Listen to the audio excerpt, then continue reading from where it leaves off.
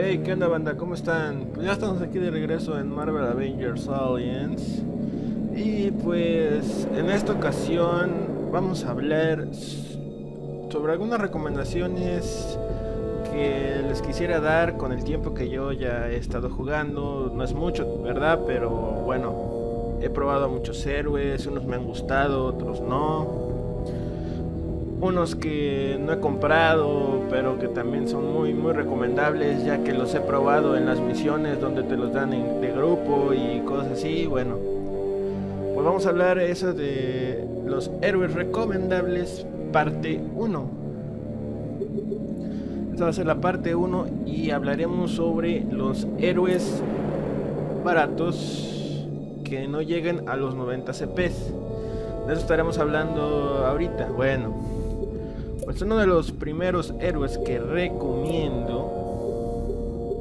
Bueno, primero vamos a mostrarles este los trajes que salieron hace algunos días. Solo van a estar por tiempo limitado. El cual es el de máquina de guerra, el de Iron Patriot de Iron Man 3. Tanto en estratega como en detonante. Yo compré el estratega. A mí no me gusta cambiar de clase a mis héroes. Me gusta dejarlos en la misma clase que están. Y otro héroe, otro traje que salió fue la MK42 para Iron Man, también de Iron Man 3. Como ven, casi no he usado mucho Iron Man.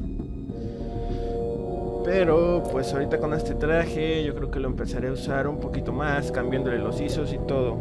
Como también verán, está en estratega y en detonante, solo están por unos cuantos días.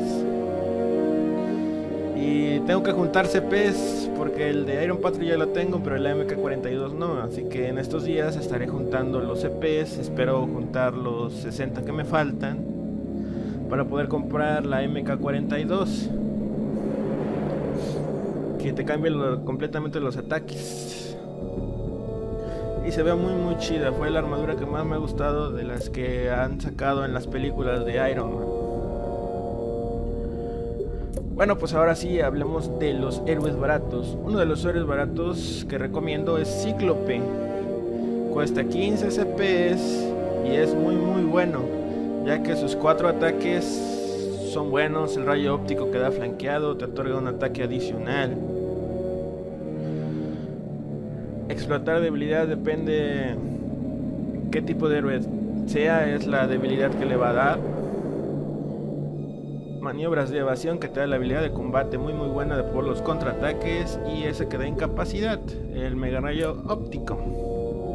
Y es uno de los héroes de 15 CPs que recomiendo, es el mejor que hay de 15. Otro también que recomiendo, aunque no se puede considerar barato barato, pero tampoco caro caro, es Fénix ya que Fénix con su habilidad de resurrección y su vínculo mental es muy muy bueno para los primeros niveles, al igual que te va a servir en JCJ para la defensa. Si tuviste la oportunidad de jugar JCJ y fue tu primer JCJ, yo creo que has de haber visto muchas Fénix por ahí defendiendo. Otro héroe que también recomiendo, barato, por así decirlo, barato, barato, Eh, ¿Quién más? ¿Quién más? ¿Quién más puede ser? Pues Kitty Pride. Como ven, Kitty Pride no la he reclutado. Pero sí, sí es muy buena. Tuve la oportunidad de verlo. Ya la he podido jugar con ella en grupo. Así sin traje como que no es tan buena. Pero si gustan comprarle el traje de preferencia en espía como comienza en fase y tiene, tiene sus contraataques y hasta que ella pegue pues se le va a quitar la fase y, todos los ataques los va a esquivar absolutamente todos.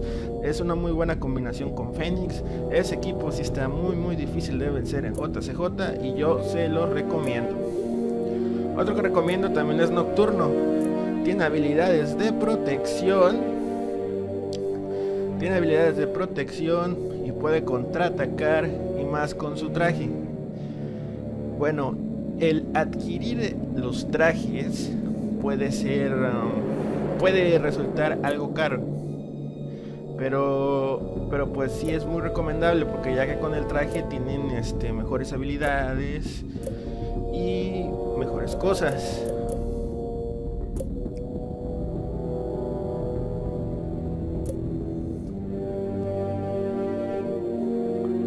¿Qué otro héroe les podría recomendar?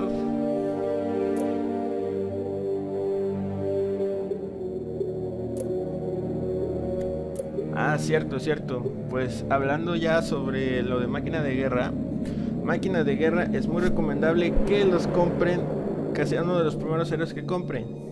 Uno, te va a ayudar con muchas misiones, inclusive los puedes ocupar en JCJ si, si estás acabando de comenzar y aparte te da el poder de 4 en su misión especial.